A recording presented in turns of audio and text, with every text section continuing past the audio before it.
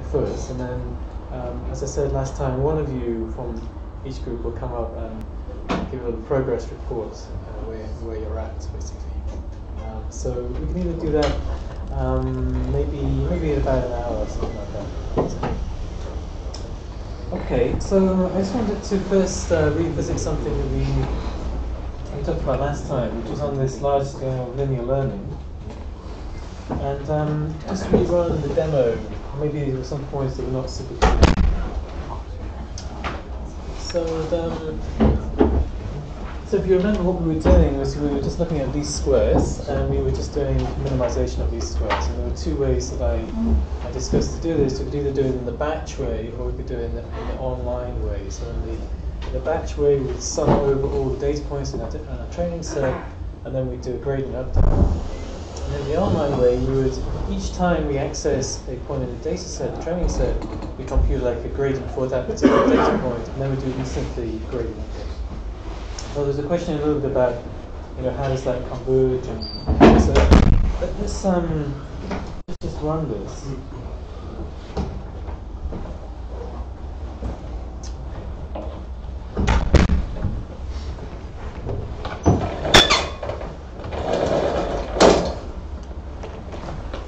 Is going to be a two-dimensional weight vector. So it's, um, I think there are a few hundred training points, and I'm going to first of all show you the uh, the, the online uh, updating of the two-dimensional weight vector. Okay. So this is um, this is it.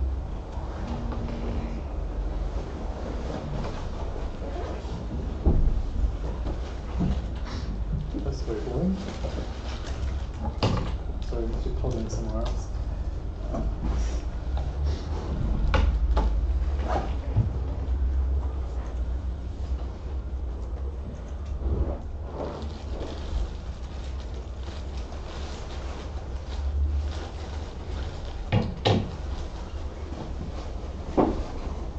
Okay, so the, the thing to observe is that in the beginning there were big jumps made in this uh, in this space, and now the the points are kind of slowing down. They're converging to, to something. So remember, each point here is represents a, uh, a weight vector, too much a weight vector, and it's each point is, is updated for a specific um, data point in the training training set. And we're cycling through these training points. So I think we've go through training points like ten times or something like that.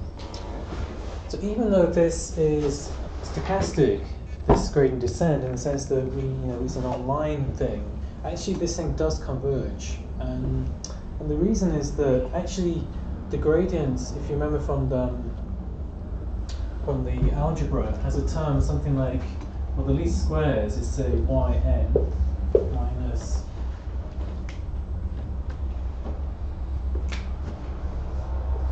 say w transposed uh, xn squared, and the corresponding gradient has this as a, as a kind of uh, a scalar prefactor. Okay, so the gradient for the data points gn is something like this, it's proportional to that. But the point is that if if you are in a weight vector which actually minimizes this squared error, this scalar term actually will be zero.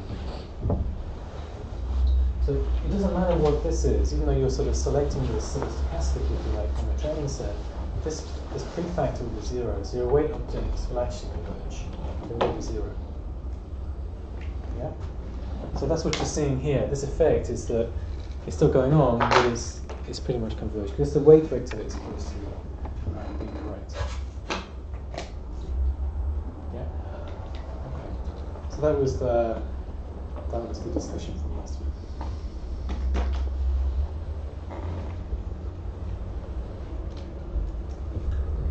Okay.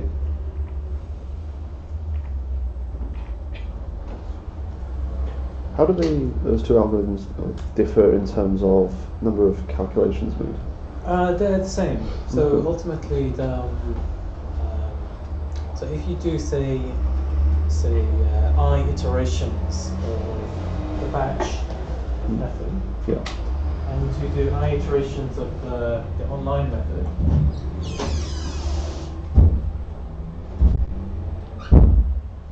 then the total number of calculations is the same. However, the in general though, it may take a different number of iterations or calculations to converge because you make these algorithms don't necessarily converge to the same point. Okay. So for these linear cases, it's fairly those quadratic functions. It's fairly clear that they're going to be pretty similar. Yeah. Um, but there could be you know situations where actually this sort of stochastic effect that you get from the from the sort of batch, so the online cage, could actually put you in a radically different solution than the batch one. So it's not really easy to sort of say which one is you know faster than the other one. Right. But um, I think so. The, the the real point is that you don't you know if you don't want to have to yeah, I mean, if sometimes you don't even want to have to store anything, so you just like this idea of you know making instant updates. And certainly, I think that one of the big advantages of the, the online one is simply that this parallelization aspect is quite Mm. nice, and also the synchronization is not a problem there. So Okay. it's somehow robust to sort of synchronization issues in parallel variants. Right. That's the main main advantage.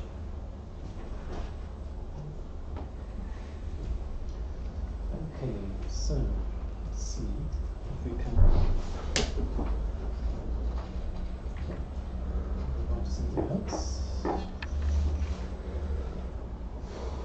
Okay, so today we're going to be talking about nearest neighbours mainly. Okay, so I know that you know this already, um, but maybe there's some things you don't know yet. Um, maybe some things I don't know as well. Um, but we're going to talk about nearest neighbours, and okay, the first bit will be familiar to you. But I want to talk about ways that you can maybe speed up calculating nearest neighbours. And I don't believe you've you've done this yet in your uh, courses. So, um, you know, what would you do if you had, uh, say, you know, 10 million images and you wanted to find the, the nearest image to a quick from a query in that 10 million database? That's not maybe something you considered how to do yet. Okay. So first of all, we're going to just rattle through some stuff that you already know. Uh, so what is nearest neighbors? Well, uh, you have a vector x, and maybe got some class label c. So this is for uh, classification. And maybe capital C classes, and you can have a set of uh, n examples in your training data set. So we'll call that uh, sort of script D. Um, and basically, the point is that you want to, for a new x, you want to find uh, the closest point in this data set and uh, assign that to the corresponding class. Okay. So um, yeah, you know this is a prediction algorithm. So what we're going to be exploiting in machine learning is the idea that somehow, why does how can prediction work? How could we possibly ever get anything out of this? Well, the idea is that somehow there's a kind of underlying smoothness in some sense in the data, in the sense that things which are close together in the, the data space will tend to have a similar uh, class or similar label in general. If we don't have this, there's not really much you can exploit. There's no kind of uh, way machine learning can really, can really work. So in some sense, really all- of the um, all of the techniques in machine learning are just different uh, ways of specifying similarity and smoothness. That's really the whole the whole thing. They're just different techniques to. So the idea of our nearest neighbors is that you know that's directly doing that. It's very uh, very intuitive and it's easy to program and uh, yeah, it's simple. So you've obviously done nearest neighbors, right? And well, you need to define what you mean by nearest. That requires some kind of distance. So you could look at, for example, uh, x and x prime are two different vectors. You could look at the squared Euclidean distance, which I can write like this: so x minus x prime transpose x minus x prime. So again, you know, just in terms of notation, we could write that as x minus x prime squared. So using this, this squared uh, distance, this will give you a kind of uh, partitioning of the data space. So this this is sort of this perpendicular bisector, so therefore this uh, Voronoi tessellation, which hopefully we've got a picture of here. So you've got some kind of, uh, in this case there are three classes. There are the red, green and blue classes, and these circles are the corresponding data points for those training classes. And they partition the space into these sort of like little bits, these uh, sort of kind of tessellation. And these tessellations are formed from taking sort of two nearest neighbors here and sort of making the uh, perpendicular bisector, and then you can take the intersection of all of these perpendicular bisectors, and that forms this tessellation. So that means that if you, for example, come along with a new point, you know, and it's here, it will be assigned to the blue class, and so the new point here will be assigned to the red class. Okay.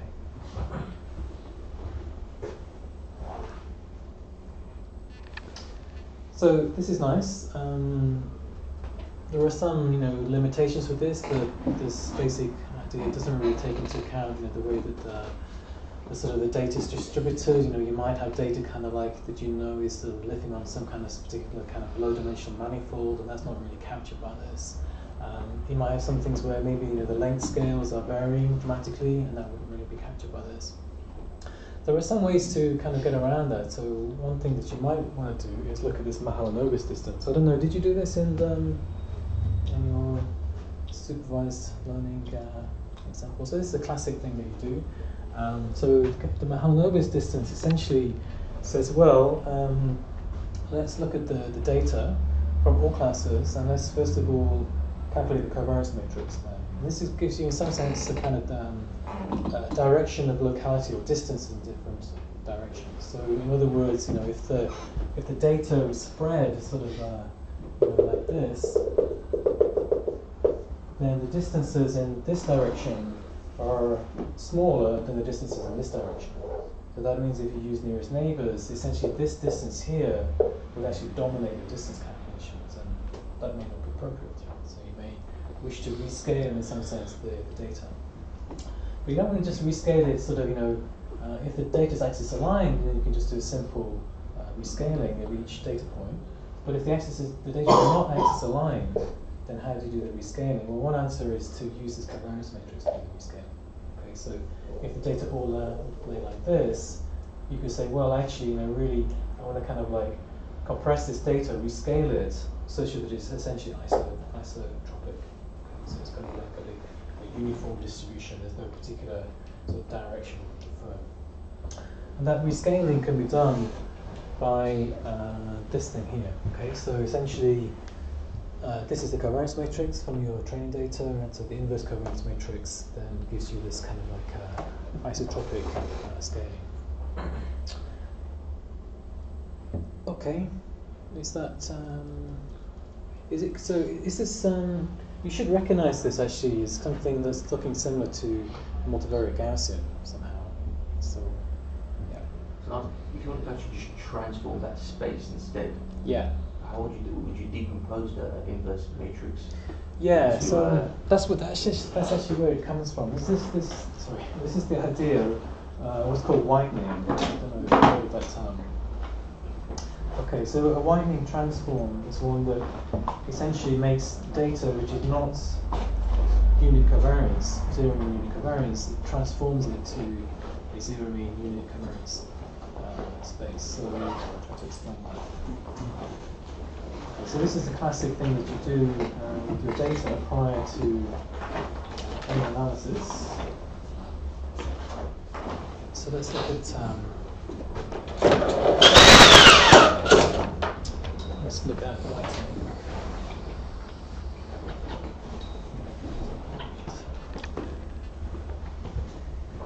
So something called uh, well, let's let's call it centering. So let's say you've got a, a set of data points. Okay. And you want to make a new uh, data point, say set n, or a new collection of uh, data points set n, such that this has got zero mean. Okay, so in other words, the sum over n of z n is equal to zero.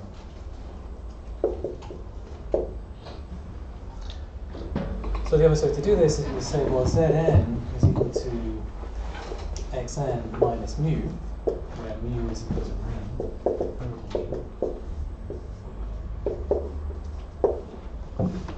Then this Zn is uh, clearly going to have zero mean. Because the sum over n is Zn, sum over n xn minus n lots of mu which is this is going to be um, uh,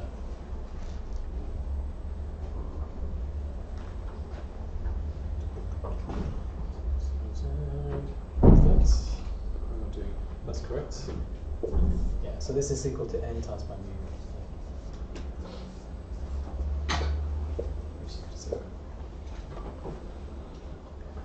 So that's the first step. Now, for whitening, what we like to do is to say that the empirical covariance is a identity matrix. So in other words, that sum over n of zn, zn transpose. I'm going to assume it's already been whitened. Okay, it's already centered. Okay. I mean, we like this to be equal to the identity matrix. So I'm going to assume it's already been centered, so I can assume it's got zero mean. So this would be, this is the, for a zero mean data, this is the condition that the um, empirical covariance matrix is identity. So let's let's think about this. Let's say that um, sigma is equal to whatever n, that's sum over n of xn, xn transpose. Okay, so somebody gives you this matrix here, and you want to make a kind of transformation, say z n, which is single some matrix m times by each xn, such that indeed you know zn zn transposed sum over n, 1 over n is equal to the identity matrix.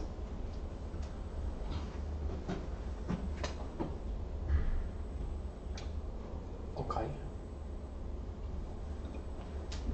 So the question is, you know, what is the what is that matrix M? Inverse? It's not quite the inverse of sigma.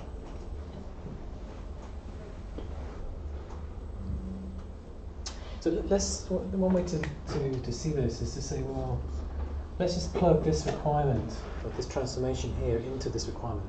Okay, so you get one over n, sum over n. So zn is equal to m xn, uh, and then this is the transpose of that. So it'll be m xn transposed. And you want that to be equal to the identity. Okay, so you can pull out this uh, m here on the left, and you can pull out the m transpose on the right. So this is the same as 1 over n, n times by uh, sum over n xn, xn transpose times by m transpose. That's supposed to be equal to the identity matrix. So this thing here, this is just sigma.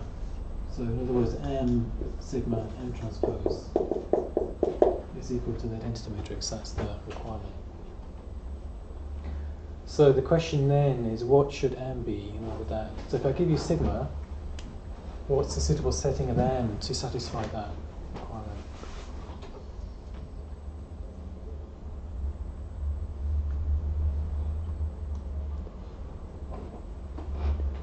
Is it the eigenvalues? The matrix of eigenvalues?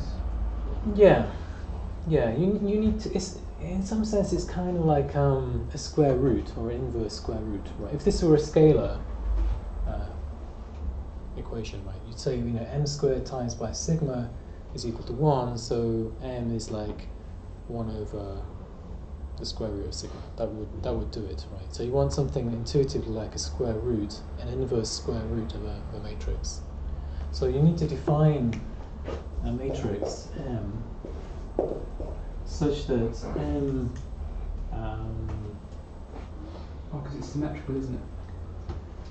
yeah yeah if you like. So if you can define a matrix um, let's say in general say sigma to the half such that sigma is symmetric. So we want this is sigma to the half times by sigma to the half is equal to the identity. So this would be this is the definition of the square roots. sorry this is the definition of the square root of a, of a matrix. So if a matrix, you know, you take uh, the square root and you multiply it by itself and you get the matrix, that's a, a definition of square root. Okay, we'll, we'll, we'll come back to how to calculate such a quantity in a second. So if you've got this, um, And similarly, sigma to the minus a half times by sigma to the minus a half is equal to sigma to the minus 1. So that's an inverse square root. Right. So let's say, check out what if you said m to be equal to sigma to the minus a half? Well, you get sigma to the minus a half times by sigma times by sigma to the minus a half. But sigma is equal to sigma to the half times by sigma to the half.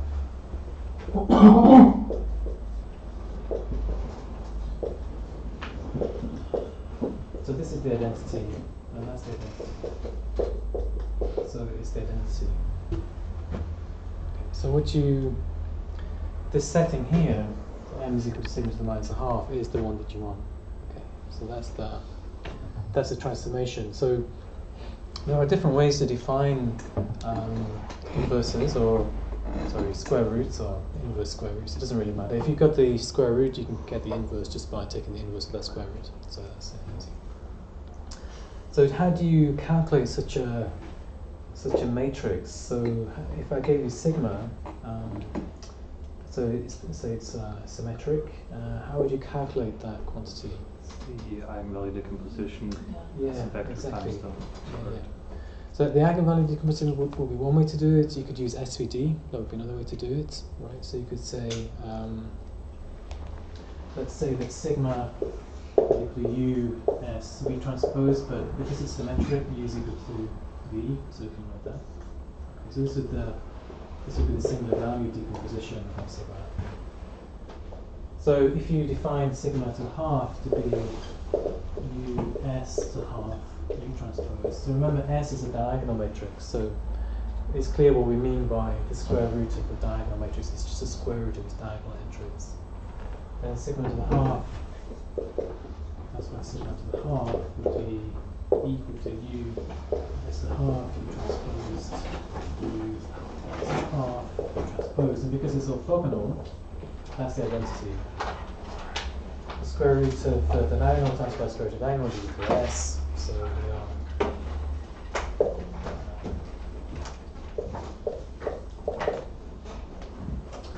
We can put that. Yes. So you can do a similar thing for the eigen decomposition. It's the same.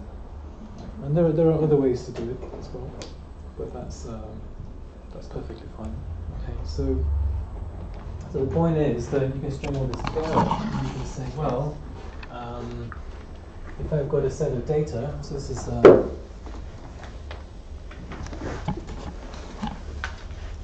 the total thing is that you you just say, well, okay, for for data xn, I form a new data set, say zn, where I just take uh, x and minus mu, and I take sigma minus half. That's my where yeah, mu is as we defined before the empirical mean, and this is the inverse square root of the empirical covariance of x. Okay, and this has the property that it's zero mean and it's uh, it has isotropic covariance, unit empirical covariance. So it's, uh, it's got unit covariance. So what that means is that this data, so if the x were kind of you know distributed like that, maybe that's um you know that's your coordinate system. Got a mean over here, here and it's sort of distributed like that in the x space.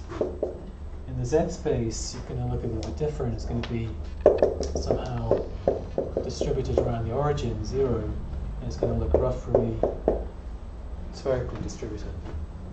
Okay, so this is kind of nice because it means that you know the length scales uh, are kind of all equal potentially, so there's no preferred uh, direction. That's the kind of useful. So what you'll often find is that people, when they do machine learning, you know, they, they often just apply these whitening transformations uh, immediately to the data in order to get rid of any kind of length scale problems. So the question is then, you know, what is if um, if you think about this in this transform space, the general data point x and its corresponding transform z. Um, what is the Euclidean distance going to be? Well, essentially the Euclidean distance is just z squared. Um, let's say um, let's say we've got two data points, Z and Z prime. Um, okay, so the distance between these two is Z minus Z prime squared. Okay, which is going to be um, sigma minus half x minus mu minus sigma minus half x minus mu primed squared. Okay, so this is the, the distance now between the two data points in the transform space. Okay. So this um, we can you know simplify a little bit. Obviously, this these constants here are going to disappear, they're the same. Uh, so we're going to get essentially that sigma to the half, sigma minus half um, x minus x primed uh, squared.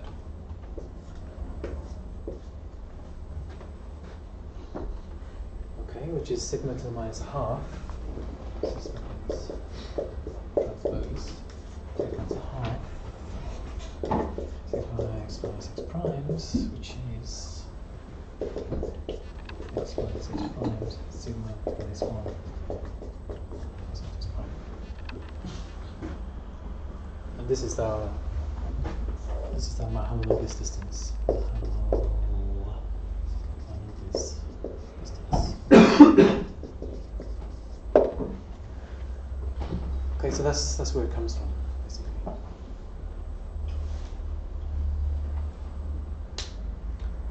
You have to like linear algebra to do machine learning, basically.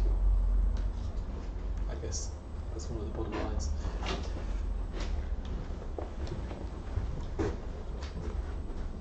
Yeah, so, okay, I don't know if you knew this uh, whitening transform. It's a very standard thing to do. Um, you know, so if, you think about it, it's the kind of, it's a generalization of um, a rescaling of the, of the inputs, right? So what you might think of doing is that if you had a, a vector which is say got you know component components x1, x2, x3, you know, and this one is um, in millimeters and this one is in meters, and they're measuring something on the same length scale, then you know this one is going to dominate this one in terms of distance. It's going to be much bigger generally than this quantity here. So you know, we talked about this a little bit before, like, you know, you could do a rescaling of this thing for the gradient descent, because gradient descent is not invariant with respect to these kind of coordinate transformations. So, um, so the obvious thing to do would be to take this one and make it such that this quantity over all of its data points has zero mean and unit, and unit variance. Right? That's the kind of uh, thing to do.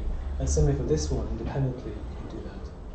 But that does not sort of get around the rotational it doesn't shear this data. Yeah. Um, could you use kernel methods instead, potentially? Kernel methods instead. Yeah, so rather than look, so it's just basically a dot product. Yeah. Just take a, a kernel map. Yeah. In applicable. You can, yeah, you can think about centering it in the, um, in the kernel space. That's possible as well. And people do that kind of stuff. It's a bit more tricky actually to do, but I think it's uh, it's doable. Um, yeah. Anyway, so that's uh, that's. That's where this comes from. The Mahalanobis distance.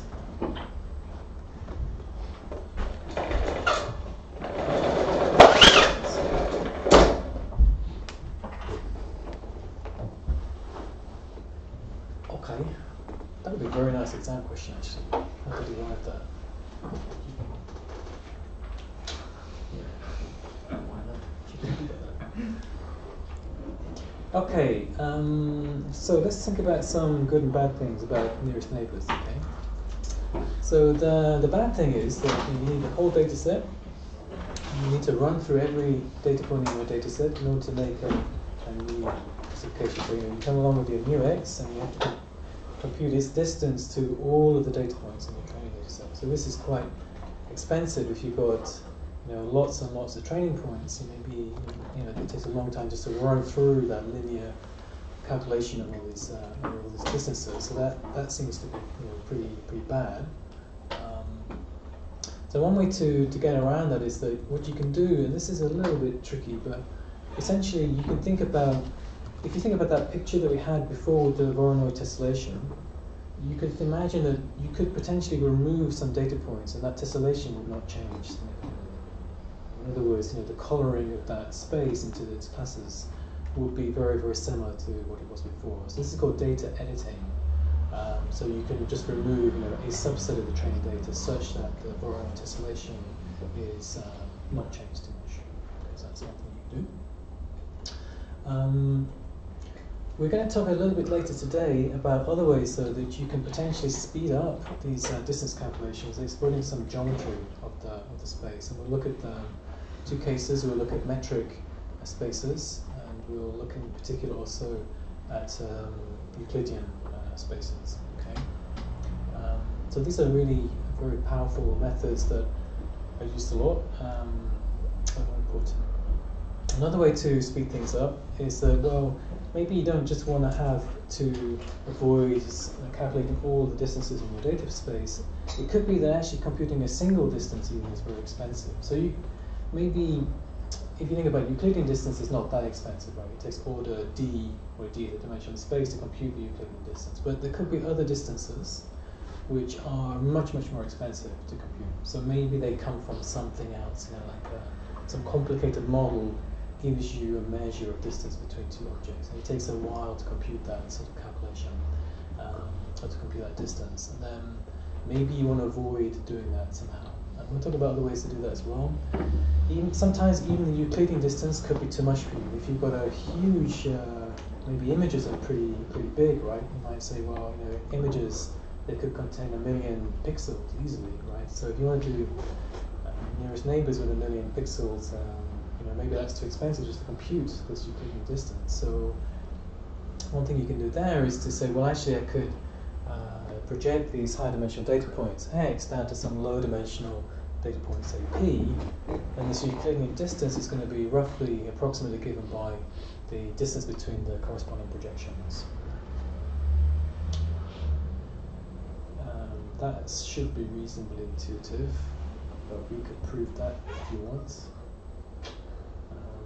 it's in the notes if you want. Uh, remember, these are all just um, summaries of the notes, right? So if you want to find that uh, sort of description, it's in the notes. I think it's clear, right? It's probably pretty clear. But um, this is this is the best um, approximation to the squared Euclidean distance that's possible under the projection. Actually, you can show that. Okay, so there are other things that are you know not very clear. It's not sort of obvious what to do with missing data, or you know, how would you incorporate some kind of prior domain knowledge uh, nearest neighbors. So k nearest neighbors, this is something that you've, done before as well. So if your uh, your nearest neighbor is a little bit flaky, maybe you don't want to trust their opinion too much, right? So maybe you want to um, you want to take some more neighbors into into consideration. Maybe the sort of the combined opinion of your a few neighbours is better than uh, potentially the opinion of just one. So uh, that's good. It can make the um, decision boundary somewhat smoother. And so the, um, the picture for this is like that. So you have a point here in the middle. That's your uh, your query point, and you need to find the nearest neighbour to this query point and the classes of those. So in this case, the the red square is the nearest neighbor, so potentially, potentially you would say the, the class of the black dot I'll make as red. Um, but if you include, say, you go out with this hypersphere until you hit, say in this case, three nearest neighbors, so the, in that case we've gone to here, and then we take a majority class of the neighbors within that hypersphere. Yeah. Wouldn't that be expensive to do computation to expand that radius, that sphere, and look for stuff? Um, yeah, I mean, you, you don't you don't actually do the expansion like that. You simply, you know, you've got um, because you know what these points are. You can simply say, I just compute these distances uh, to all my data points, and I just order them, and then I take the the first three in this Like the matrix, like data against your data Um, you don't need a matrix. You just need, say, so you've got your query point here. You've got then a vector of uh, distances to the n data points. Okay, so you compute. So in other words, you know, you've got this one here. You compute a distance, you've got another data point here, you compute a distance, you compute all the distances. That gives you then a, a list, essentially, distances, and you, you sort that list. But that's, it's order n, of course, now that's expensive still to, to do. Um, and then you need to find, uh, in this case, the three nearest on that list. So, um, yeah. You're right that I think maybe your, your question is more to do with, you know, could you somehow do something smarter? pre-compute Yeah, like, yeah. beforehand, like you yeah. do on the fly, so- I think you could do that, but that, that would be expensive, yeah. Yeah. Um, for the single neighbor thing, um, you can't just record the boundaries of the regions, I mean, for the Voronoi thing. Yeah, but that's expensive as well. The boundary is very complicated. Yeah. Yeah. I don't think. I mean, there's a one-to-one mapping between the boundary and the position. I think of the the, the Voronoi tessellation itself. So I don't think you you you sort of gain anything by actually. Actually, is that true? It's not true. Let's say it's not a one-to-one mapping. You, you, you, you could, you may, maybe you're right. Maybe you're right. It could be that it's cheaper to do that. It could be cheaper. Um, I don't. So, well, maybe the way to do it though would be like the data editing, right? You could sort of. Um, Interior points get rid of. yeah, I, mean, I think may- maybe another. I think my first. So, for a Voronoi tessellation, there does exist a unique. There does exist a an equivalent positions of data points that would uh, make that Voronoi tessellation be where it is. Um, so, in other words, uh, yeah.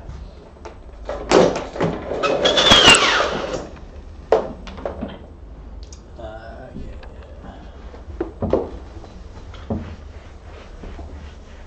So let's say you had, um, let's do a really dumb uh, case to start with. So these are class uh, X, red X, and these are blue X, and these are class say red circle. So the, um, in this case, the boundary would be would be here, right?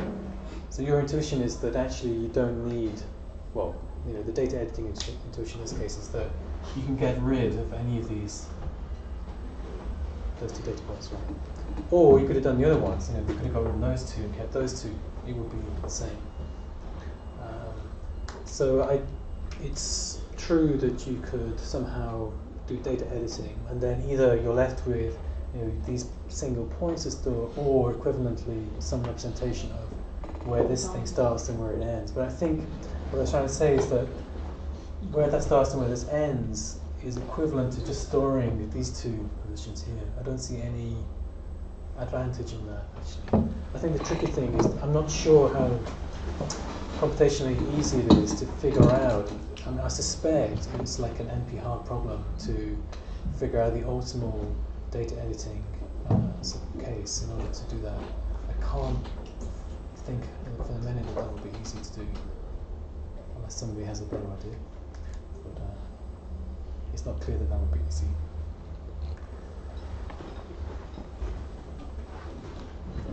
Okay, so how do you choose this? Okay, well you could use cross validation. Right, so that's uh, that's good. Um, here's some examples of uh, handwritten digits, some, some zeros on the left, some ones in the middle, and some sevens on the right. And in the training data, this little example, we're going to have, I think, 300 examples of each of these digit classes. Okay, and so we're going to, we're, going to first of all, say, try to compare, you know, a one versus a seven. So in other words, I give you the training data set now for the ones and training data for the sevens. I want to do binary classification in the sense that I come along with an image. I want to know if this image is a one or a seven. Okay, that's the uh, sorry, one or a zero. And um, in this case, I'm going to look at, um, I think, I don't remember how many neighbors I use actually. I think I just do the nearest neighbor here.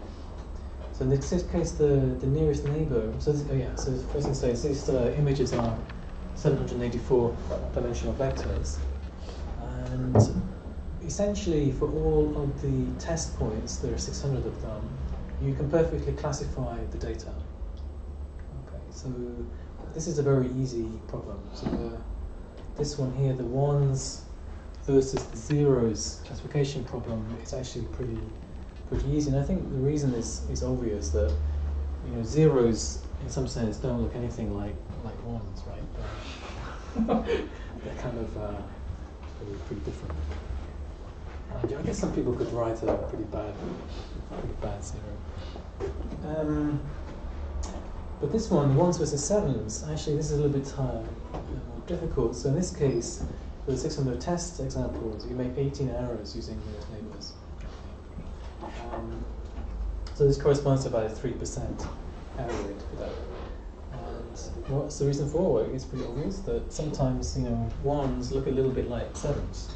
Um, so you can't see this very well, but this seven here, you know, is not that great in terms of sevens. Uh, it could be a little bit, and this one here, you know, I don't know, that could be a one, right? So it's much more difficult. And the point is that there's, you know, when you're looking at distances, that this this vertical bar here in these sevens is very similar to vertical bars or sloped bars in the ones. So a large part of the, the sort of the two images is very similar. And that's because you're just looking at these distances.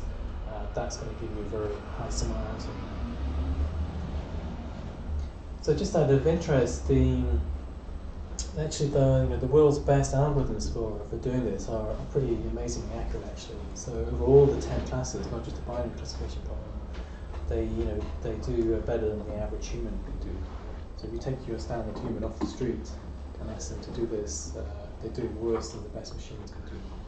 So it's pretty pretty impressive. So yeah. Yeah, I should say by the way, this isn't the, the, the best algorithms. They don't use uh, nearest neighbors. They use all kinds of stuff. So support vector machines can do quite well. Um, these sort of neural network style things are quite uh, quite good as well. So I mean, this is a big kind of you know, interest. Uh, a big area for driving research in machine learning.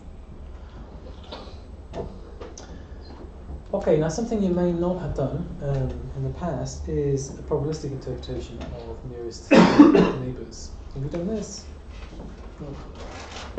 So, what I'm going to say here is that essentially you can think about, say, nearest neighbours as equivalent or similar to what's called a Parzen estimator. So what this is is you basically place a data point, for each data point you place a Gaussian distribution which is centered on a data point with some covariance, uh, isotropic covariance matrix, sigma squared i. So for data from class 0, so for 0, 1, uh, two classes, we'll make this generative model of the 0 class data by putting this essentially mixture of Gaussians over the, over the space. Okay, so we get a Gaussian bump every data point in the class 0 data. And we do the same kind of thing for the class 1 data. Okay, so we've put bumps over centered on each of the training points there. This defines two generative models for class class conditional generative models. And then for a new data point, say x star, you know, what is the probability that x star is in class zero? Then we can use Bayes' rule to, to do that calculation. And the only thing we need to define is well, what is the a priori probabilities of the two classes? Well, if we were going to do this by maximum likelihood, you would just set the probability a priori that it's class zero just to be proportional to the number of times in the training data that class zero appears relative to the total number of training points. So you might say, well, um, you know, if you're going to do maximum likelihood training, uh, this is like Gaussian mixtures, so don't you have to learn these things, right? But actually, we're not. We're fixing them here. This is a the dif- distinction between a Parzen estimator and a standard mixture of Gaussians. We're simply placing the training, if you like, is simply to place these Gaussians over the centers of over the data points. There's no parameters there. The only thing that we will possibly tune is the width of this basis function. Is, is, yeah. Just like density estimation. is? Yeah, it's, it's essentially it's like the world's simplest density estimator. Um, you just smoothing essentially the empirical distribution by placing Gaussian bumps there instead of deltas on So this is one way to do classification, and I'm going to try to argue that this is essentially uh, a generalization of uh, the nearest neighbor approach. Okay, so in this case here, we've got, say, four uh, red classes, and then the, these dots here are the, these points, and these, say, here are, say, the one standard deviation uh, contours of the corresponding two-dimensional Gaussian, and here is the corresponding three um, blue class points, and then you come along with a new point here, and you want to know what's the probability of that, say, that new point being, say, class, uh, blue class? Okay, so what I'm going to try to, to say, and if I do it on the next slide, is that as we take the limit of these, uh, width of these Gaussians to become very, very small, that the class of this uh, black dot will be assigned to the nearest neighbor, the class of the nearest neighbor. Right, so we can look at this. So yeah, just to say first of all that um, the corresponding maximum likelihood setting for the priors uh, to P C, uh, C equals zero is just the number of times that class zero appears uh, relative to the total number of data points. Uh, similar P plus equals one is n1, uh, the number of uh, data points. So what is the so P of C equals zero given x star is the posterior probability that we're going to class it this way, divided by the probability that we classified as a one. So if this if this ratio is bigger than one, then we're going to say classify this data point as uh, zero. If it's less than one, we'll classify it as plus one. Okay.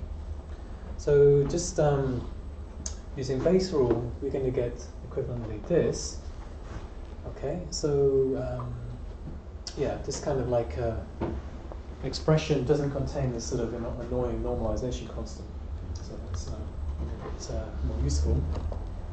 Now let's look at this expression. Okay, what happens to this expression as we take sigma to get pretty small? Well, you have to think a little bit now. I could write this down mathematically, but um, maybe you can you can view it in, in your head. So what's happening here is that this is a mixture of Gaussians, okay? They're all um, centered on the training data points.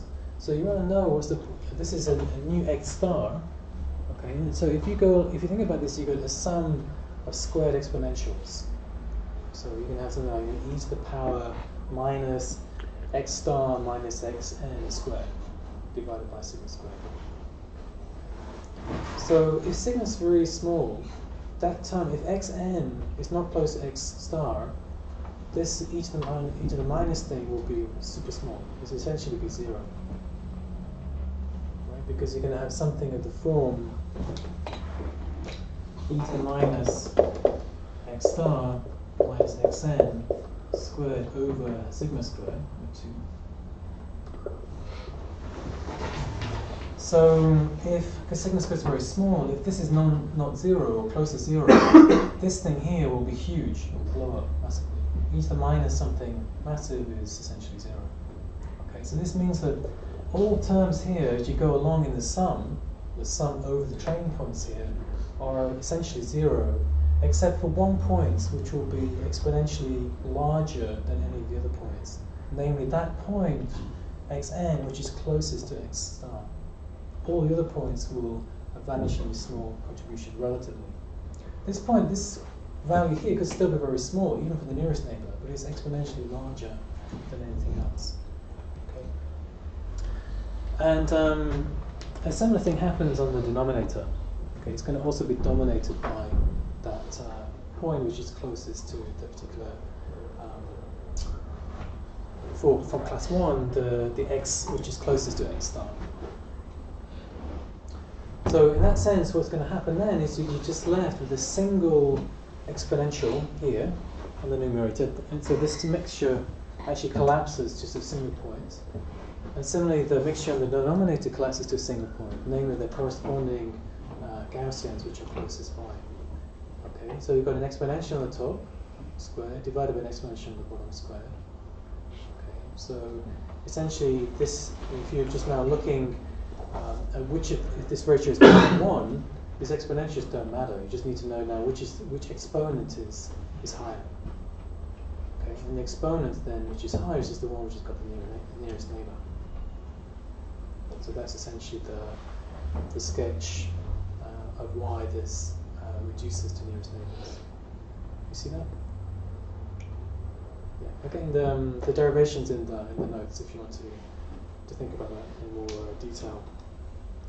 But this is kind of um, it's kind of nice because it means that essentially, you know, you, if you don't, well, the idea of you know k nearest neighbours is to take into consideration more than one nearest neighbour, the, the class over here. Um, but you can think about this, you know, this method here also does a similar kind of thing, right? Because now, if I go back to to here and I use a kind of a Gaussian which is not limiting uh, this small width, essentially I'm going to be thinking about the, the influence of data points from other classes potentially. So if these Gaussians were really big, the influence of all data points would start to come into account. If I took it infinitely big, actually all data points would count, and simply I would classify uh, the black dot as just that class which is the most numerous in the, in the whole training set. So this is a kind of more um, graceful way, if you like, of interpolating between the nearest neighbor case when sigma is zero and the sort of the infinite neighbor case when we just take the most numerous class. Okay, so this is a, it's a like um, k nearest neighbors, but it's a little bit uh, smoother in some sense. Okay, so you can do this to more than one class. It's very uh, two classes. It's easy. You know, you just put a, if you've got n classes, you would just put a uh, let's say k classes. You put a, a this Parzen estimator. You do it for each class. That would be the corresponding thing to do. Um, of course, you could say, well, you know, this um, this Parzen estimator is really not a very uh, good generative model of the, of the data, or not a very good sort of um, estimator of the, the data density, uh, I could use something much more sophisticated. Of course, you could, right? You could use um, whatever you like is your favorite density estimator. And that's, the, for example, a mixture of Gaussians where you might say change the position of the, the means or you might do some kind of low dimensional manifold searching techniques. Um, and then you'd just be you know, using this Bayes rule to do the classification.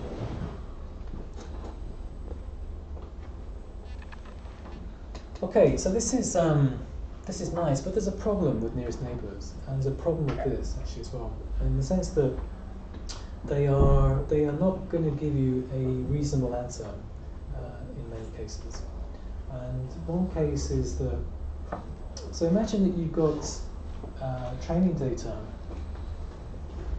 and you've got a test data, which is a long, long way away from your training data. So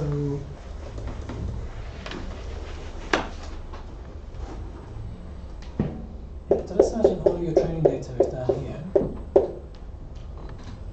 Um, that's say one class, and maybe you have another class, say here. Okay.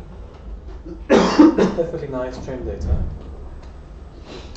But then you have some kind of wacky problem where somebody comes along and says, well, look, I would like to know what is the class, I want to classify this new point here. So what's the class of that new point according to nearest neighbors? Red. It's red, right? Um, so this one here is the, it's a little bit less than this distance here. Do you have much confidence in that?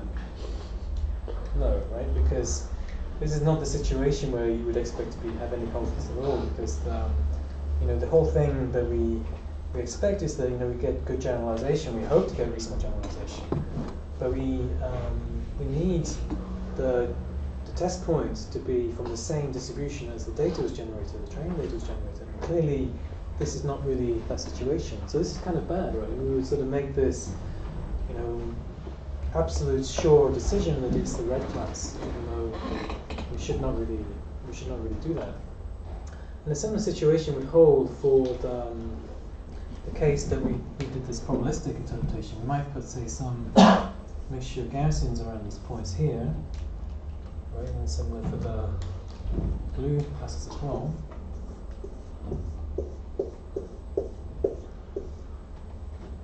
And we'd ask what's the probability that the green, the new point here, belongs to the red class.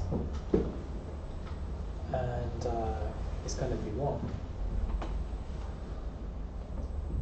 So the point about that is that the probability that this um, this red data point here generates this green point is very small.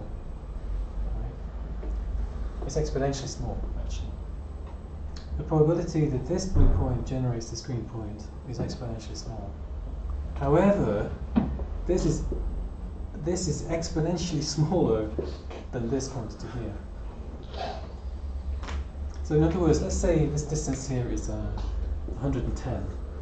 Okay. The square distance is 110. And this distance here is 100. So in some sense, you know, roughly speaking, this first one here, the probability that this, um, you know, when you do this ratio, you're going to have e to the minus 110, so uh, minus 100 for the this class here, divided by e to the minus 110. Roughly speaking, right? For say, you know. So they're both really small, um, but this one is e to the minus 10 bigger than that one, which is, you know, so it's exponentially more likely. Even though you really shouldn't have any confidence at all that this should be the case. So this is bad, right? It's bad news. So you go along there, you know, you you have this nice probabilistic model or with k nearest neighbors or whatever whatever you like to call it, and somebody comes along with uh, you know a new data point, and you say, um, I'm absolutely sure that this is class one. And say uh, you don't have any doubts, but I know it's it's exponentially likely it's class one or class zero. It seems pretty pretty silly to me. Right. So how, how can you get around that? Weight it, to weight the distances. Could weight the distances, yeah. Um, Could you create three classes? What's the third class? That dot. Um, I wasn't It, no, it would just have a different prior, wouldn't it? So it would be like a different distribution, but less frequent. Well, Well, I, I, happened I, I, actually, I, I, like, I like your suggestion, but um, what we could do is something similar to that. I think that may may work, but the the third class uh, you could have is say um, you could say make a third class which is say centered on say the mean of your training data, and has huge variance. Right. So what would happen in this case is that you would say that third class would be likely to generate this green point more than any of the other two. So you might say, well, that's an outlier class, like that. You could do that. Yeah. That'd be one possibility. Um, there's something else you can do, though, which is a little bit uh, similar, but I prefer. Um,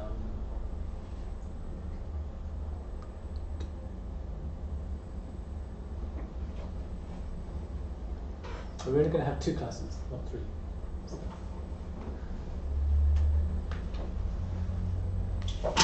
Any suggestions? The boss asks you to do this. It says your classifications are nonsense.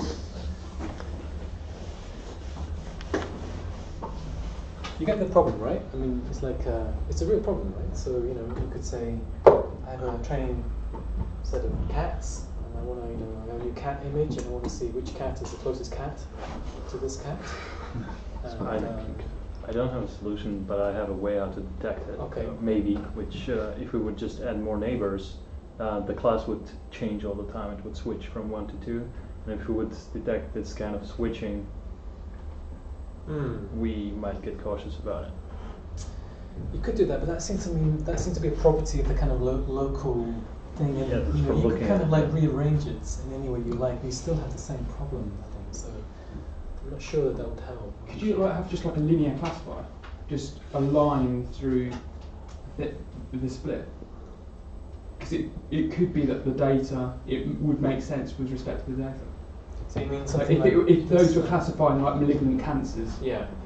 and um, on one axis you had the amount of cigarettes you smoked in one day, Yeah. um, it would make sense that if that dot on the far right was red and red were malignant or Yeah. something, it maybe it makes sense.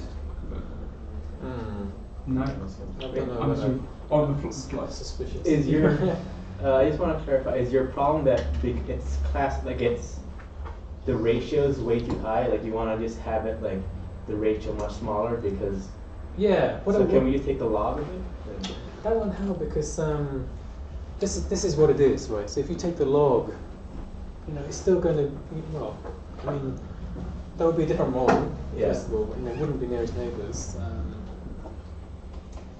but you're right that what we want is this ratio for this kind of situation to be closer to half, actually. Yeah. Oh, sorry, not half, but to be, to be closer to one. In other Yeah. words, we don't have a clue, you know, which is the first class. Yeah. What about, so when you do this density estimation, you put a normal distribution down around each training point. Mhm. What if on top of that you put like a small uniform distribution for each data point? Then basically like on the extremities, it would basically just classify it as the more dominant class. So if there are more of the blue class, it would just classify as the blue class. So the further you got away, the normal effect would decay, and then it would just be the uniform effect across the whole Yeah. space that would dominate. You could do that, absolutely. That's um, essentially what I had in mind. Or a slightly, a slightly simpler thing you could do is just do, just use one additional Gaussian with a very, very broad variance for each class. So in other words, you you could take the blue. You say, let's say you, you compute the mean of the whole data. Okay, so you say um, maybe this is the mean of all the data points, independent of the class. Okay, and then you could say add a, a Gaussian. I'm not going to draw this very well, but you know, with a really big variance here. Something that's you know, sufficiently big that it kind of nothing really could um, well any, any data is going to be likely to be generated by such a Gaussian. It's not gonna work. And then you do the same thing. So that so you add this big Gaussian to your blue mixture model, and you do the same thing for the red.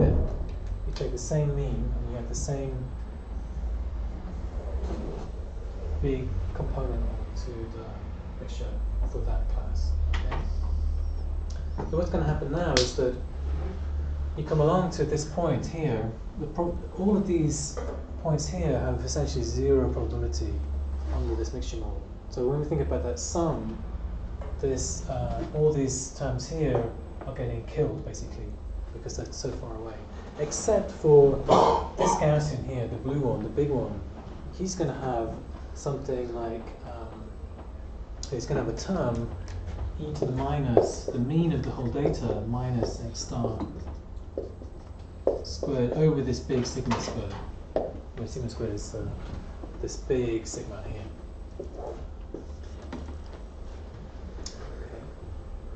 And um, the same thing is going to happen for the denominator for the other class. It would just be because the mu mu is the same, um, and sigma squared is the same. So there's going to be, you know, something very small plus this, and something very, very small plus that, and these very small terms essentially become zero as you um, as you move out from this data space. So this thing will then actually become essentially one, which is what you want, right? You don't want any. Well, you could argue that you you might prefer um, to make the class that of the most numerous points. Personally, I, I wouldn't make that interpretation just as you, you know, your, your method would have done. Simply because I want to say that I'm so far away from the data that I, I don't want to make any statement anymore about you know, yeah I'm to, I'm maximally un, un, uncertain. Um, although that's a you know, that, that's a debatable viewpoint. So that's what I, I personally what to do. So this is um, the practical thing that you know you, you should think about doing whenever you do uh, Gaussian mixture modeling or these probabilistic uh, sort of interpretations of k-nearest neighbors. Yeah. Just a question if we would have used uh, the Mahalanobis distance that you talked about before Yeah. um, to evaluate the distance from the two points, they would be also their odds, the ratio would be also close Yeah. to one, right? Um, the wouldn't close to wouldn't be close to one because remember the Mahalanobis distance is is defined by the the training data covariance, right? So, But you, we would recalculate it for a new point, of course. Yeah, but it doesn't work like that. So the Mahalanobis distance is calculated for the training data, not for the test data. So you, um, yeah, you can't sort of um, take the test data point and then recalculate everything. That's not the way it would work actually. So you just take the training data and then you calculate Mahalanobis distance and use that then to classification. Um, I mean, your, your point is kind of. Um, you, know, you, you could think about say, well, if I start to get more points like this, you know, maybe, and I get the class labels, then maybe you start to recognize that you know there is some weird geometry going on, and you need to sort of take that into consideration. Um, but yeah, I think in, in some sort of standard sense, you know, we're just gonna take the training data understand the geometry of that. Yeah. But um, ultimately, the algorithm is still going to classify the points, whether if it's slightly above one or slightly under one. No, it won't. It won't. Because what will happen is that, well, think about it numerically. So this term here is exponentially small. Okay. So this means that the number in, in a computer, the number of bits which you you know you're going to try to represent this is enormous. So your computer says this is zero. Okay. Okay. So there's no there's no difference between this zero and this zero. So This is ten. This is ten to the minus a thousand. This is ten to the minus a thousand and two. They are both zero in, in any computer. So it doesn't matter. And even if it were not, these two here are one essentially, if you like. There is some constant number. Let's say order one. It doesn't really matter what, what it is. Um, it's exponential, so it's going to have one, you know, plus. Um, say, you know, some constant. Uh, I'll call it one. It's not one, but it's a constant. It's of that form, right? So this could be epsilon, or it could be, you know, two epsilon, whatever it is. And the limit that epsilon goes to zero, this ratio still becomes one. So I maybe I should say it's a constant k. So is it sort of like an outlier class? Um, that's what I was. It's yeah. It's not that. You know, that was. Uh, It's all the uh, sort of not confident. Um, it's not. It's not equivalent to that actually. Um, but it's it's similar in spirit. Um, the only thing I should say, by the way, is that you might be worried that introducing this this extra class is a little bit weird. What I should have said is that the weight that we associate with a class is going to be very small. So we'll have a prefactor. So normally, you know, these points here in the mixture model, they've got unit prefactor, or one over actually one over n prefactor, where n is the number of training points. But this fictitious additional one, we'll give it a very low weight, say some epsilon. So in other words, we add on. Um, so the p of data from say class zero, we've got this sum, or so our original data points, right? So uh, n equals one, two, n whatever from class zero, this Gaussian, uh, with some sigma squared. And then what we'll do is we'll add on some, say, small thing, say delta amounts of um, this big mean, let's say mu, and some huge covariance, let's call it, say, um, C, right? Where C is really big. And then we'll just make it such that this thing is normalized. So what's the what's the normalization term here?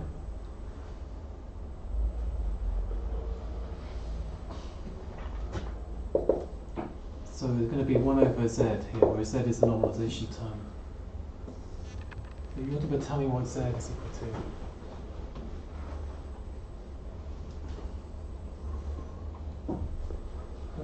Uh, n plus delta. Yeah, exactly. So that would be a correctly normalized distribution. So the point is that this delta is something small, you know, so let's say 0.01, something like that. So this term here, for any, for any data point x, which is kind of close to your training data xn, x star, which is close to any the xn, this kind of term is going to be, you know, appreciably large. But because of this delta term here, um, this will be very small. It'll be, you know, an order of two orders of magnitude smaller. So for any point x star which is close to your training data, the contribution of this sort of fictitious Gaussian is, is negligible. It only plays a role when we, we're in this situation here. So it has no kind of um, obvious negative consequences on your your k nearest neighbor or your your nearest neighbor algorithm. I think if, if you make the variance big enough, I mean, it's, it's going to be so thinly spread anyway, isn't it? That you don't even have to you have to include that delta because it's going to be so thin across the surface that like, the- Yeah. the likelihood's going to be so low for it You could do that, but anyway. the only problem with that a little bit is that um, I mean that may be equivalent actually, but the s- slight tricky thing is we have to worry a little bit about numerical uh, stuff, you know, because basically we don't want this term to be totally zero, so we have to kind of like e to the minus a thousand is going to give us a problem. So we need to worry a little bit about how to represent that in a, in a computer. I mean, so we want it to be small, but we don't want it to just like get binned by the by the algorithm. So the other thing to say is that, of course, when we do this, you know, when we evaluate this, these sums of these experts, this will totally fail. Uh, you know, you cannot you cannot do this implementation naively. It just won't work uh, because you you instantly run out of uh, bits on the computer. You have to do which trick do you gonna have to use? The log sum exp, right? So without the log sum exp trick here, you're you're dead basically. So it's impossible to do this. So you need to evaluate both the numerator and denominator in that ratio, with each with the log sum exp trick. Yeah. So how will this point get, get classified ultimately? this point here, it would say that um, well, this ratio would be 1, so it would say either class 1 or class 2 have got uh, 0 class, and one class of equal probability.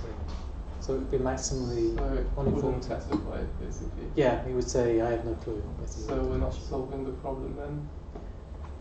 Um, well, um, there is no. The point here is that there's no there's no reasonable solution to this problem in the sense that I well. I'm trying to argue that the only reasonable thing to say is that there is no nothing in the training data to suggest either way, Okay. and I think that's you know that's the most reasonable thing you can, you can come up with in this case. I think it's unreasonable to to suggest anything else, personally. So it's basically an outlier detection. Yeah, it's it's um it's an outlier detection. You could say that, um, but it's a kind of it's kind of an automatic built-in thing in the sense that you might you know you could. It's a very simple mechanism to add this thing onto your your classifier, and then you can kind of you know put it out in the wild and not worry too much about whether or not you're going to get you know, completely stupid uh, results for you know being overly confident in, in kind of like stupid cases basically. So it's just kind of like a, a mechanism that you you know you just plug it into your, your classifier. So there are you know there are similar kinds of things that you can do for other kinds of classification methods as well, and it's important to do this in, in, in practice. Uh, if you've got some real automated procedure where you're just you know, classifying things all the time, and you're not even you know you're not even personally analysing them to see whether or not it makes any sense or not. Yeah. No, you, you had another question? Or? No, it's yeah. fine. So I think I think it's gosh, it's already half past three. Crikey. Um, I think we better have a break. So twenty minutes. そうでしょう